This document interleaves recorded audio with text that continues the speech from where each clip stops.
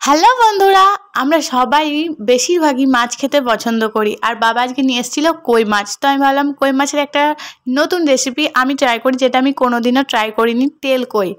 আমি first time নিজে রান্না করব। তো ফার্স্ট টাইম অনেক মশলাগুলো বেটে নিয়েছিলাম, জিরে, সর্ষে বাটা, আদা বাটা দিয়ে করে নিয়েছিলাম। তারপর আমার রান্নাটাও রেডি হয়ে গেছিল। আর গরম ভাত, সাথে তেল কই। দারুণ লাগছিল খেতে, অসাধারণ লাগছিল। আজ, আজকে আমি শুধু একা ট্রাই করিনি।